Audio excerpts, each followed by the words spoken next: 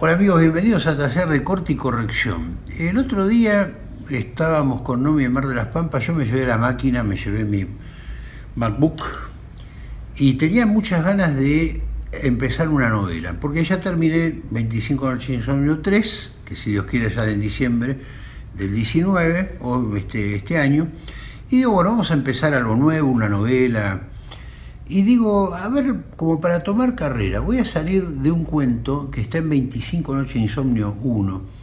Y resulta que la trama es muy, muy sencilla. Hay dos, este, eh, digamos, ayudantes, colaboradores de una parroquia que eh, le llevan a, un manicomio, llevan este, alimentos, elementos, toda una logística.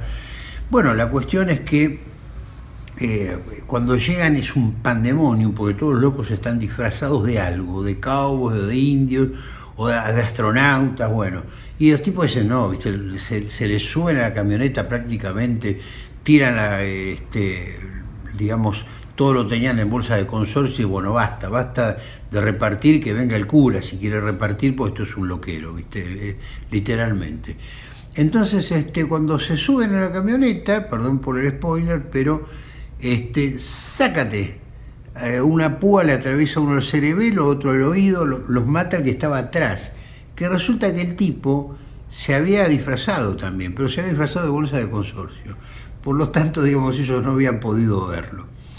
El loco este en cuestión, yo digo, bueno, eh, así contado, eh, es, un cuento, como, se los digo, no es nada eh, como para poder continuar. Pero yo digo, a ver si hay alguna eh, manera de hacer que esto sea un primer capítulo. Yo estaba seguro. Al contarlo, lo vivo como una vida. Un señor, bueno, lo que les acabo de contar, el tipo sale libre, el cuento de hecho se titula Libre como el sol cuando amanece. Ahora, digo, esto me sirve como primer capítulo. Me puse a releerlo y cuando, cuando termino no me salía absolutamente nada. ¿Por qué?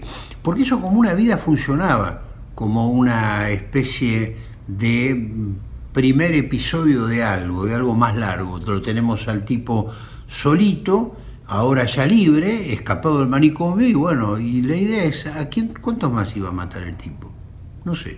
O sea, no se me ocurrió absolutamente nada, pero había una razón. El cuento es una fuerza que va para adentro. ¿eh? Esa es la, clave de, todo este asunto.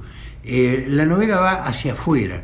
Cuando yo releo para tomar carrera, releo el cuento, el cuento termina ahí, pero termina absolutamente redondo, sin abolladuras, eh, nada. Em, se terminó, punto, no se puede hacer más nada. Y ahí experimenté en carne propia la cuestión aquella de la gran diferencia que hay entre un cuento y una novela. El cuento es, un universo que se cierra en sí mismo, es una fuerza centrípeta. Las preguntas que uno se va haciendo eh, a, lo largo del, cuento son preguntas que se responden yendo hacia atrás. ¿eh? Piensen en cualquier cuento, no quiero poner un ejemplo yo, pero piensen ustedes en cualquier cuento y van a ver que se cumple perfectamente eso. En cambio, la novela va hacia adelante, constantemente te está disparando preguntas que van hacia adelante de la historia. este cuento, que yo pensé que podía llegar a considerarse un primer capítulo, no es la primera vez. El, fogonero de Kafka este, es un cuento que dio pie para la novela América. ¿eh? Em, Vampiro de la mente, de, Dan Simmons también. Em, eh, se convirtió en una novela así, una bestia, y había salido de un cuento. Así que es una cosa bastante, bastante extraña esa. A veces pasa y a veces no. A mí no me salió nada. Pero la verdad que no me fui con, no me volví de Mar de las Pampas con las manos vacías. Este, me traje un cuentito nuevo. Eh, ahí se tuvo una pesadilla a la noche, este, y lo único que tuve que hacer fue ponerla por escrito e inventarle un final para que cerrara. No sé, hay momentos que uno está muy expansivo, de ir contando hacia adelante. Hay otros momentos en la vida de escritor de uno que va todo para adentro. A lo mejor estoy pasando por esa época. Así que la moraleja de hoy es, ojo con forzar las cosas. ¿eh? una novela no es un cuento largo, no sé si me explico. Una novela es algo que marcha hacia adelante como un tren y te va parando en cada estación cuando el autor quiere, si es bueno, y cada, cada estación se llama capítulo. Un capítulo cerrado no es un cuento en sí.